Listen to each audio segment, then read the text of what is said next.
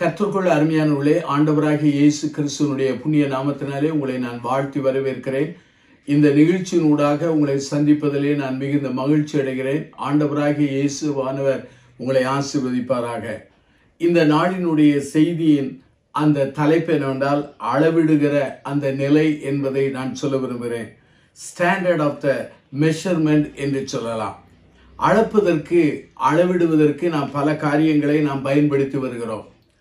உபாகம் இருபத்தைந்தாம் அதிகார பதினைந்தாம் வசனம் கூறுகின்றது. கள்ளத்தராசானது கர்த்தருக்கு அருவறுப்பானது ஆகவே நம்முடைய அளவீடுகளிலே மிகுந்த ஜாக்கிரதையோடு அதை பயன்படுத்த அழைக்கப்படுகிறோம்.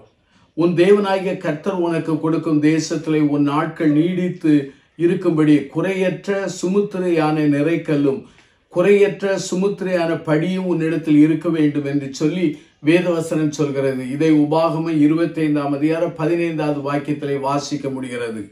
வேதாமத்திலே பல்வேறு அளவீடுகள் குறிப்பிடப்பட்டுள்ளன நம்முடைய ஆன்மீக வாழ்க்கையிலும் பல அளவீடுகள் இருக்கிறது.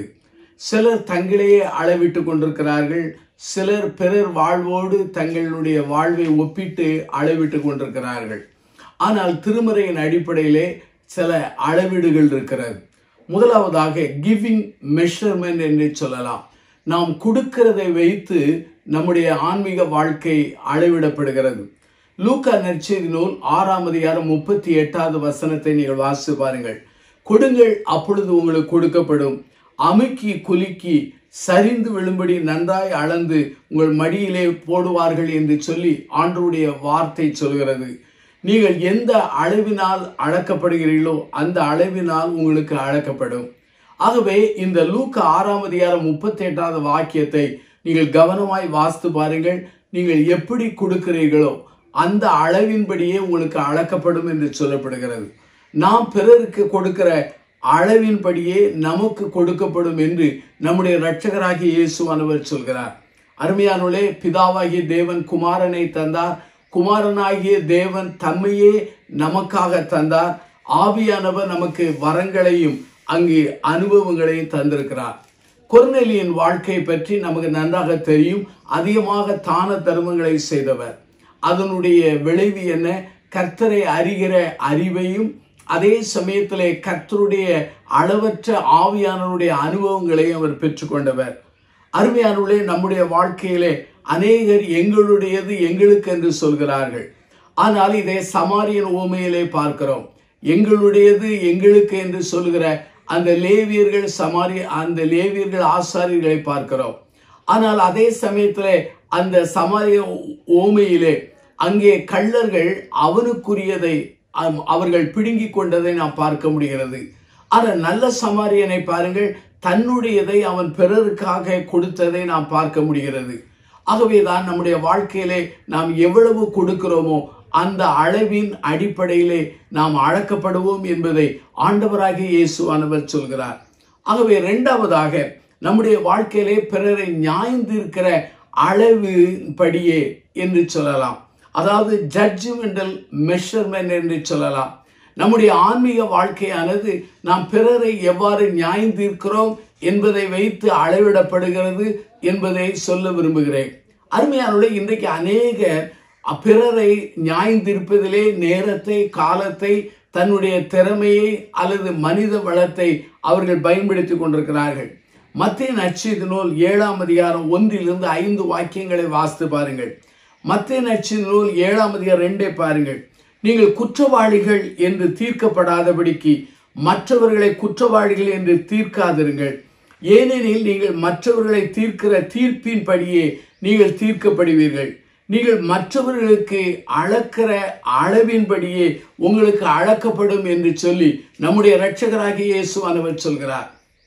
ஆகவே கொடுக்கிற அளவின்படி நம்முடைய ஆன்மீக வாழ்வானது அளவிடப்படுகிறது. நாம் பிறரை நியாயந்தீர்க்கிற அந்த அளவின்படியே நாம் நியாயம் தீர்க்கப்படுகிறோம்.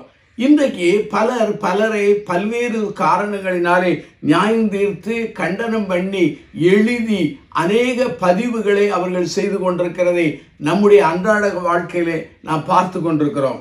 அருமையானுள்ளே நியாய தீர்ப்பு செய்யக்கூடாது என்று ஆண்டவர் சொல்லியிருக்கிறாரே தவிர அதே சமயத்தில் டிசர்மென்ட் அதாவது அவர்களை குறித்து பகுத்தறியக்கூடாது என்று எந்த இடத்திலும் ஆண்டவர் சொல்லவில்லை.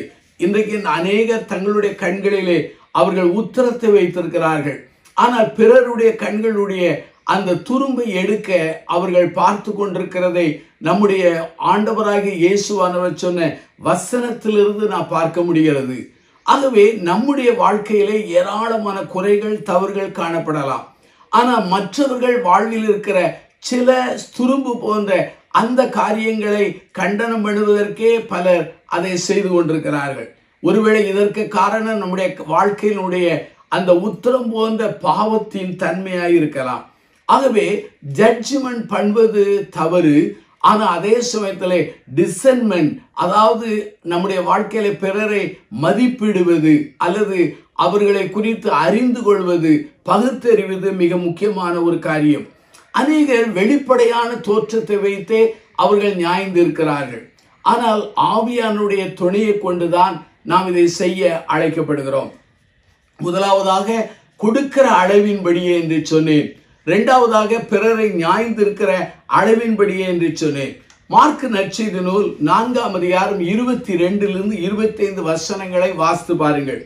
கேட்கிறதுக்கு ஒருவன் காது உள்ளவனாய் இருந்தால் அவன் கேட்க கடவன். பின்னும் அவர் அவர்களை நோக்கி நீங்கள் கேட்கிறதை கவனியுங்கள். எந்த அளவினால் அளக்கிறீர்களோ அந்த அளவினால் உங்களுக்கு அளக்கப்படும். கேட்கிற உங்களுக்கு அதிகம் கொடுக்கப்படும். உள்ளவன் எவனோ அவனுக்கு கொடுக்கப்படும். இல்லாதவன் எவனோ அவனிடத்திலிருந்து உள்ளதும் எடுத்துக்கொள்ளப்படும் என்று சொல்லி நம்முடைய இரட்சகராக இயேசுவானவர் சொல்கிறார். அருமையானவர்களே இன்றைக்கு அநேக சபைகளிலே பிரசங்கம் பண்ணி கொண்டிருக்கிறார்கள். ஆனால் மக்கள் கேட்கிறவர்களாய் மாறிவிடுகிறார்கள். கேட்கிற விதங்கள் மிக முக்கியம். எதை கேட்க வேண்டும்? எந்த செய்தியை கேட்க வேண்டும்? யாருடைய செய்தியை கேட்க வேண்டும் என்று நமக்குள்ளே மதிப்பீடு செய்ய அழைக்கப்படுகிறோம். நம்முடைய வாழ்க்கையிலே ஆண்டவருடைய வார்த்தைகளை அதிகமாய் கேட்க வேண்டும். ஆண்டவருடைய வசனத்தை ஆழ்ந்து கற்றுக்கொள்ள நாம் அழைக்கப்படுகிறோம். மார்த்தாள் மரியாள் ரெண்டு பேருடைய வாழ்க்கையிலே அங்கே மரியாள் ஆண்டவருடைய பாதத்திலே உட்கார்ந்து அவர் சொல்வதையே அவர் அவள் கேட்டுக்கொண்டிருந்தார். ஆகவே உண்மையான சீடத்துவத்திலே ரெண்டு காரியங்கள் இருக்கிறது. ஒன்று அவருடைய பாதத்திலே காத்திருப்பது. இரண்டாவது அவருடைய வார்த் அவருடைய சமூகத்திலே ஜெபிப்பது. என் அருமையான சகோதர சகோதரிகளே இன்றைக்கு அநேக தொலைக்காட்சிகளிலே அநேக அங்கே செய்திகளை கேட்டுக்கொண்டிருக்கிறார்கள். அதாவது உலக பிரகாரமான அரசியல் செய்திகளை மணிக்கணக்காக கேட்டுக்கொண்டிருக்கிறார்கள். ஆனால் ஆண்டவுடைய வார்த்தைகளை மெய்யாய் ஆண்டவுடைய வார்த்தைகளை சொல்லுகிற அந்த செய்திகளை கலப்பு நிறைந்த உபதேசங்களை கேட்காதபடி கலப்பற்ற அந்த தேவ வார்த்தைகளை சொல்லும் செய்தியை கேட்க நாம் அழைக்கப்படுகிறோம். ஆகவே ஆண்டவருடைய வசனம் சொல்கிறது நாம் கேட்கிற அளவின்படியே என்று சொல்லப்படுகிறது. ஆண்டவருடைய வார்த்தையை கேட்க நீங்கள் ஆசை உள்ளவர்களாக இருக்கிறீர்களா ஆண்டவருடைய சத்தம் கேட்க நீங்கள் ஆசை உள்ளவர்களாக இருக்கிறீர்களா ஆண்டவருடைய வார்த்தைகளை கேட்பதிலே உங்களுக்கு தீவிரம் உண்டா? இந்த நாட்களிலே அநேகருக்கு ஆண்டவருடைய வார்த்தைகள் கேட்பது தங்கள் காதுகளிலே ஈயத்தை ஊற்றுகிற அந்த துன்ப நிலையை அடைகிறார்கள். அதனுடைய பொருள் என்ன? பின்வாங்கி போய் இருக்கிறார்கள் என்று பொருள். ஆகவே இந்த மூன்று கோணங்களிலே மூன்று காரியங்களிலே நம்முடைய ஆன்மீக வாழ்க்கையானது அளவிடப்படுகிறது. கொடுக்கிறதை வைத்து நியாய்ந்திருப்பதை வைத்து நாம் கேட்கிறதை வைத்து நம்முடைய ஆன்மீக வாழ்க்கை அளவிடப்படுகிறது என்று சொன்னால் மிகையாகாது. நாம் கண்களை மூடி நாம் பிரார்த்தனை செய்வோம். ஜீவனுள்ள பிதாவே இந்த நல்ல நாளுக்காக நாங்கள் நன்றி சொல்கிறோம். இந்த நாளை எங்களுக்கு ஆசீர்வதித்து தாரும் ஆண்டவருடைய வல்லமை எங்களோடு கூட இருக்கட்டும். பெரிய பெரிய காரியங்களை செய்தருளும். அற்புதங்கள் நடைபெறட்டும். கொடுக்கிறதை வைத்து நியாயம் தீர்ப்பதை வைத்து ஆண்டவரை கேட்கிற விதத்தை வைத்து எங்களை அளவிடுகிறீர் என்கிறதை நாங்கள் திருமறையிலிருந்து புரிந்து கொண்டோம். அதற்காக நாங்கள் உண்மை தோத்திருக்கிறோம். இந்த நாளை ஆண்டவரே இந்த செய்தியை கேட்டு கண்டு கொண்டிருக்கிற ஒவ்வொரு மக்களையும் ஆசீர்வதியும். எல்லாவற்றையும் எங்கள் ஆண்டவரும் ரட்சிகருமான இயேசுவின் நாமத்தில் ஜெபிக்கிறோம். ஜீவனுள்ள பிதாவே ஆமேன்.